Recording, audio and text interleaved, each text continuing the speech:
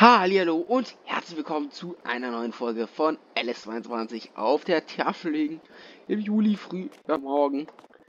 Und ich habe schon mal den Trecker schon mal ein bisschen vorbereitet. Und zwar ist in der letzten Folge sind die Ballen alle eingesammelt worden. Die liegen da hinten jetzt alle schön gemütlich. Und warten darauf, dass die äh, ja, fertig gegärt sind, dass der Winter kommt, wo es dann das meiste Geld dafür gibt. Denn die ähm, Ballen, die würde ich, wenn möglich, eventuell sogar verkaufen. Dann irgendwie Dezember, Januar rum. Denn ich glaube nicht, dass ich die unbedingt brauchen werde. Also von daher können die getrost weg.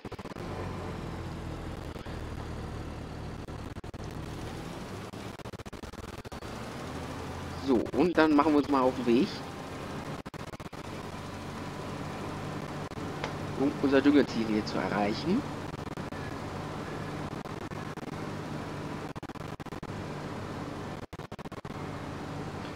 Denn hier muss schließlich auch noch mal ein bisschen Dünger drauf.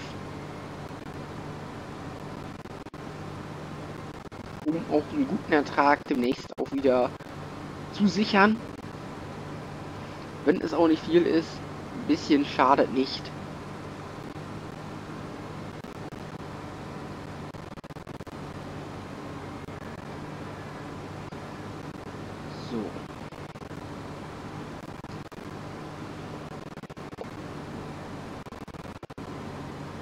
Ja, ansonsten, ich glaube so, ich denke mal, spätestens äh, bis zur nächsten Folge werde ich auf jeden Fall wahrscheinlich noch ein paar Monate überspringen.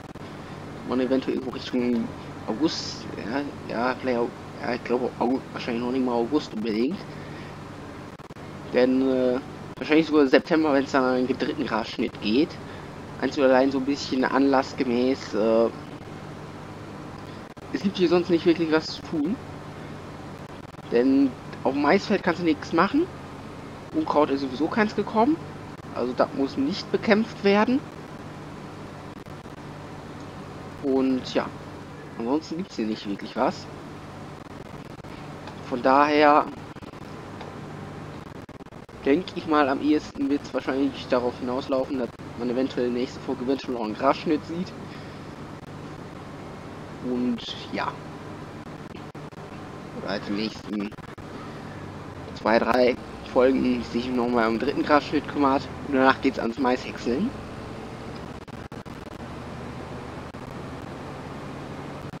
Wird wahrscheinlich... Ja, da muss ich jetzt überlegen. Prinzipiell würde ich jetzt am liebsten sagen, man macht einfach nochmal Ballen, damit man die verkaufen kann. Zum anderen will man auch irgendwie ein bisschen Abwechslung hier reinkriegen, dass es immer etwas unterschiedlich ist. Mal angesichts der Tatsache, es gibt hier sonst nichts. So ehrlich muss man halt einfach sein. Momentan bis auf hier Gras mähen und warten, bis der Mais reif ist, um ihn zu wechseln. Mehr gibt es momentan nicht. Mag vielleicht jetzt etwas äh, eintönig sein, aber gut. Ist halt so. Ja, darauf wird wahrscheinlich etwas vielseitiger, weil dann kommen unter anderem auch, ähm, ja, und unter anderem wahrscheinlich auch Gerste. Das heißt, man wird auch mal mit Getreide zu tun haben. Mit Korn zum Verkaufen und das äh, ja, Stroh wahrscheinlich als Einstreu für die Tiere. Damit man eventuell auch nochmal Mist herstellen kann. Denn das ist schließlich auch ein Düngemittel, beziehungsweise wenn es ist, Falls man vielleicht sagt, man möchte vielleicht nochmal eine Biogasanlage kaufen, wäre glaube ich ganz lustig. Dann äh, ja, hätte man zumindest ein bisschen Material, was man da verwerten kann.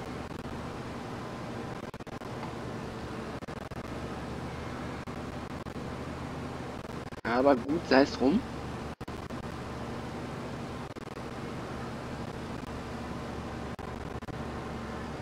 Stadtfeld, das hätten wir schon mal. Ja, also es ist, äh, glaube ich, eine relativ flotte Geschichte. Also da sollte nicht sonderlich viel passieren. Oh, warte. Einfach ist ein bisschen weiter.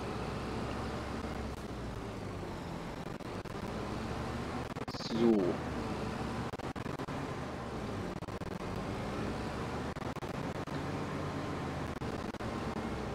Dann klappen wir das Ding mal aus.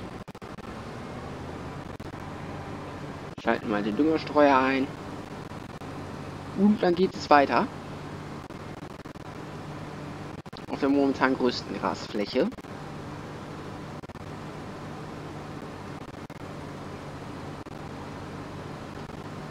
Wie sieht es eigentlich momentan mit Futter eigentlich aus bei den Tieren? Da kann man mit leben. Sollte man mit arbeiten können.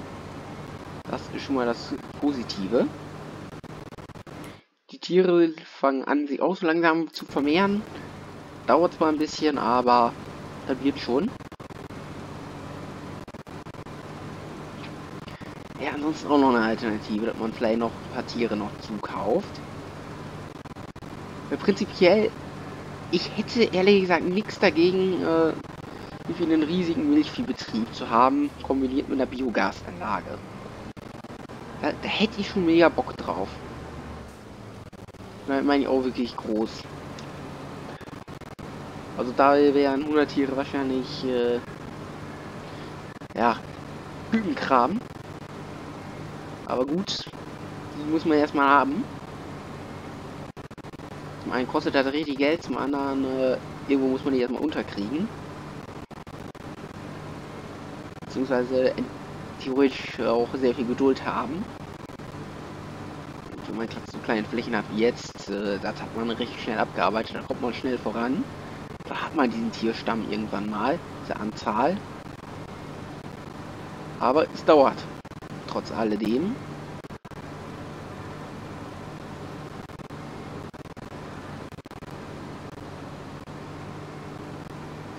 Aber gut, sei es drum.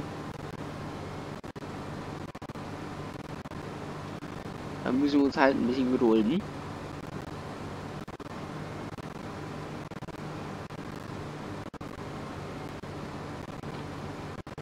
So, dann einmal hier hoch.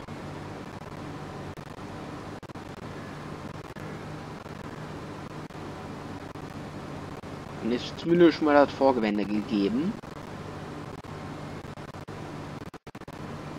Müssen vielleicht nur noch so ein bisschen die Bahnen.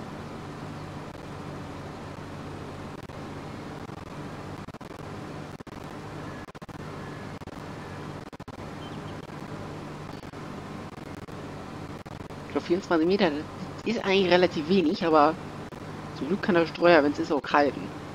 Da muss man hier wenigstens positiv anmerken. Da sind wir ziemlich universell aufgestellt.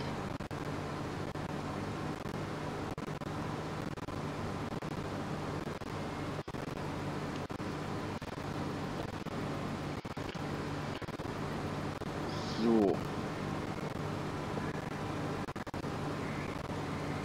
Dann drehen wir mal und fahren zurück in die Spur.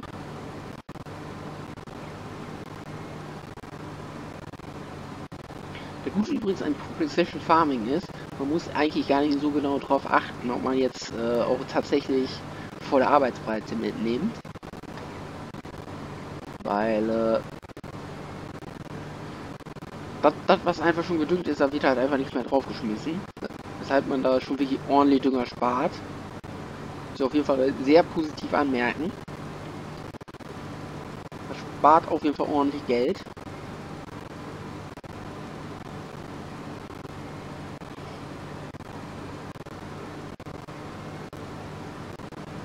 dann, ich glaube, knapp zwei Bahnen und dann hat sich das ja auch schon wieder erledigt. würde ich mal sagen.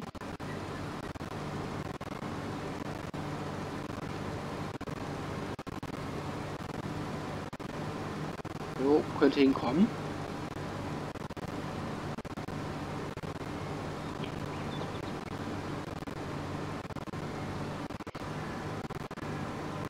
So,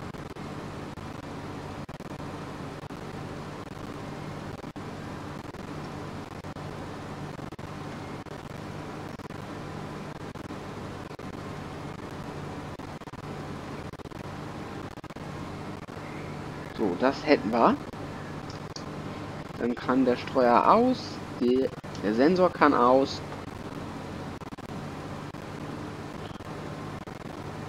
Und dann können wir... Äh, warte, Streuer ist noch an.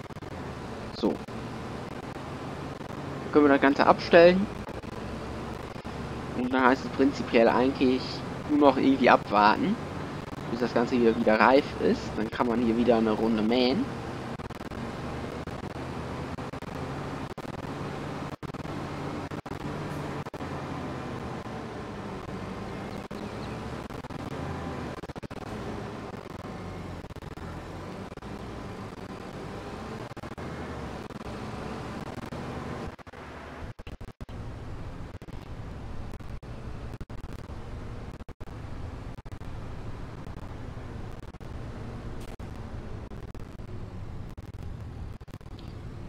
So, jetzt hier irgendwie rum.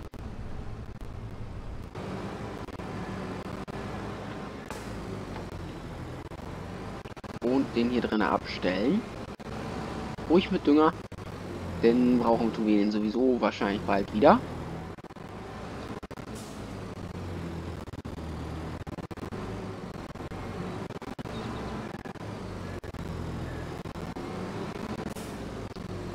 So.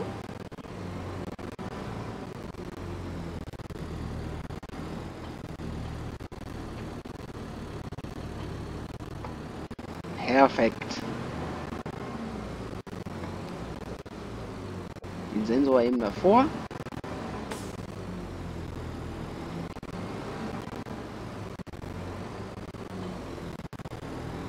So, dann haben wir damit schon mal keine Schwierigkeiten mehr. Das ist doch schon mal positiv.